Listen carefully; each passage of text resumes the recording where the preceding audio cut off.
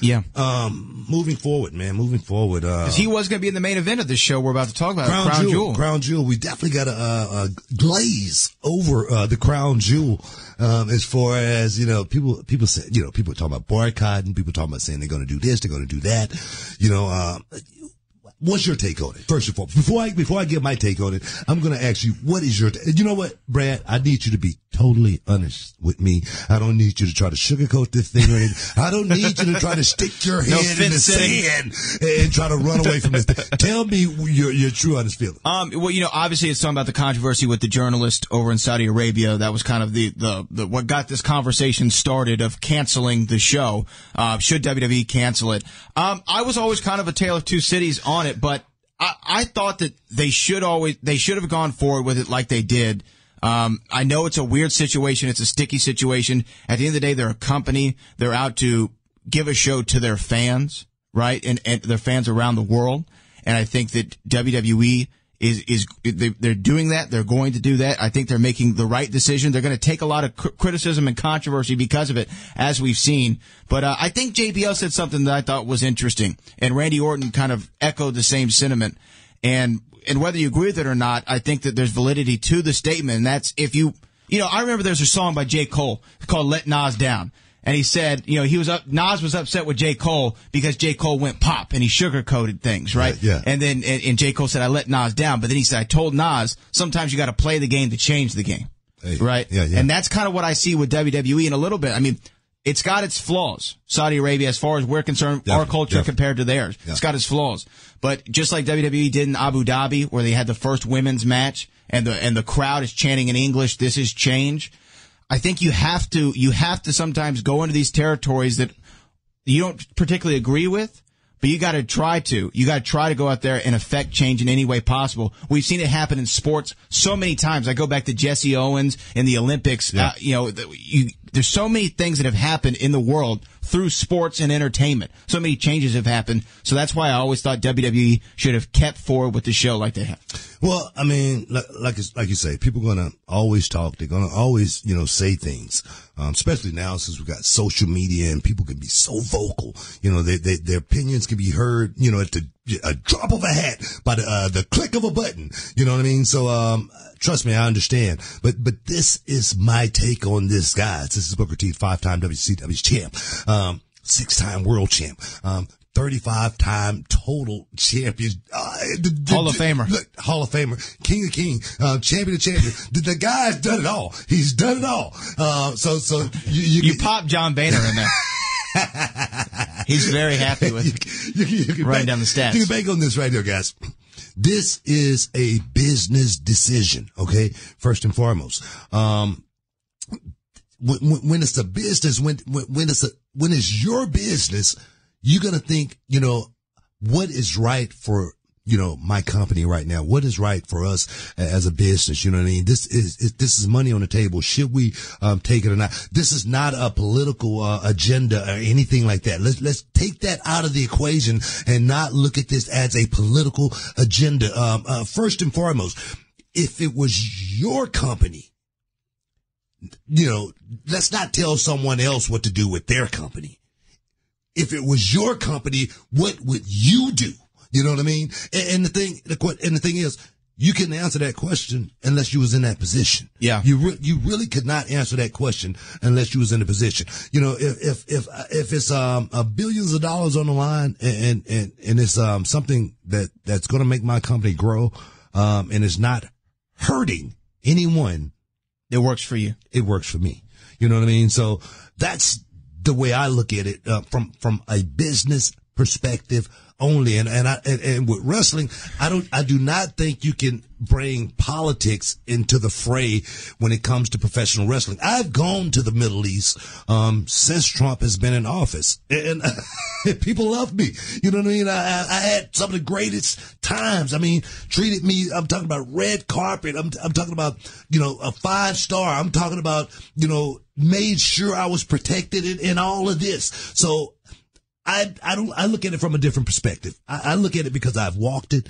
Um, I, I've seen it up close and personal with my own eyes. Um, are there flaws, uh, uh, in, in other countries?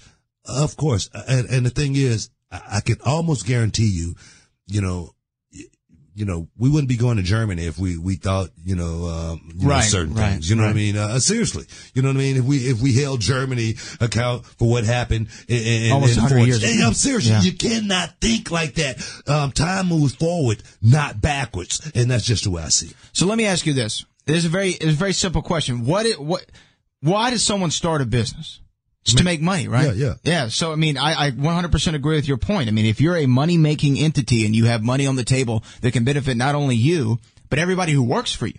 Cause I'm sure, and I, I, I didn't get to see, you know, the, the, the, the bank deposits, uh, you know, for, for the guys when they went to Saudi Arabia on, for the greatest Royal Rumble, but I'm sure they got paid rather well. Well- I mean, I heard Jericho even say, you know, when I saw the money, I Like- said, like- absolutely. Like, you said a second ago, um, the WWE universe is vast.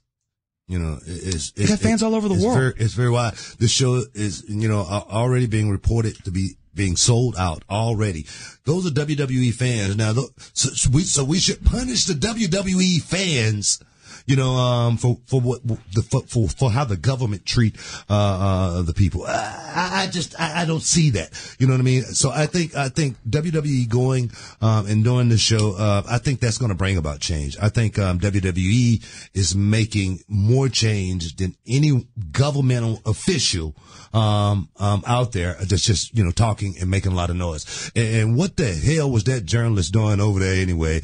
Um, you know, after his controversial, you know. Yeah, yeah, I, you know, I don't know about that, and I want to stay away from it to be honest with you. But but I but I think that you make no no, but you make a great make light of point. No. I know, I know. You make a great point though. You make a great point about depriving fans. Yeah. Um, that's like saying, you know, say, you know, football, uh, English football, soccer, right? It's big over there, right? in, yeah. in Europe and in, the, in those countries. But there are fans here in America who love European soccer you're what the kind of point you're making is there are probably people over there in Europe that don't agree with the politics of the United States. Yeah. That doesn't mean they should deprive the the English football fans uh, uh, here in America of seeing their favorite team play stateside. Right? Is that kind of what you're saying? That's there? exactly what I'm saying. I just think it, uh, the the issue is bigger. I think wrestling is um, universal.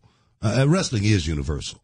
Um, no matter where I've gone around the world, you know, I mean, they didn't need, they didn't need to speak. Um, we didn't need to speak the language. We didn't need to know how to communicate on that level right there. But when we went out there and performed, we went out there and, and gave that crowd something that no one else could give them. You know, um, just like the last time we went, you know, to Saudi Arabia, um, those fans were off the hook. I mean, there are like seventy thousand Oh people. Oh man, there. I mean, it was rabid in there. I mean, and, and that wasn't because it was a political statement or anything like that. It was because those fans were there having a, a great time watching the WWE superstars do their thing. So I'd say, uh, we got to break away from the politics on, on that for a second. I think, um, um, it's, it's always going to be something. let me let me play the the devil's advocate Twitter fan Go- go right- online go right who's either listening to this or going to listen to it and say, well, yeah, of course Booker T would say that he's just toeing the company line. What would you say to those people?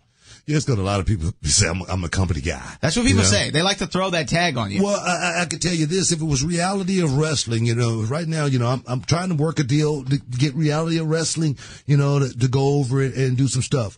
It's a business decision. It has, you know, my being in the business uh, for 28 years.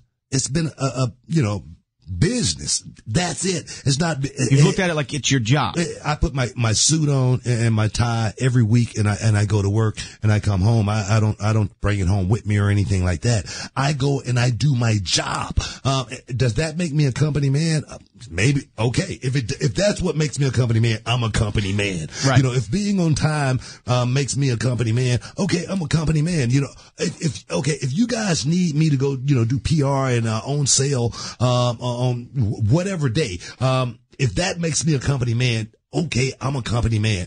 I, I get a check in the mail every week. You know what I mean? And it's because I go to work. You do know your job. And do my job. And like Ernie Ladd said back in the day, do my job and do that job well. You know what I mean? yeah, actually, he said, I'm big enough to step on some toes and, and do that job and do that job well. See, so, so that's my thing, man. Um, this has, you know, uh, this show right here, Heated Conversations, it has nothing to do with WWE. This is not a WWE show or anything like that. But, but um, when it comes to dollars and, and, and making sense, um, just I look at it like this. I could say, yeah, you know, this is not my, you know, political belief or anything like that. Just, I don't have a dog in this fight or anything like that. Um, you know, I could say, let, us I'm gonna walk away from this deal. I'm not gonna do it. Um, or I could take what's behind door number one, uh, a, a, a, a hundred by hundred foot room with money stacked to the top. I'm taking the money. Okay. Because you're a business. Because I'm a business. No other reason. That's your only goal in a business is to make money.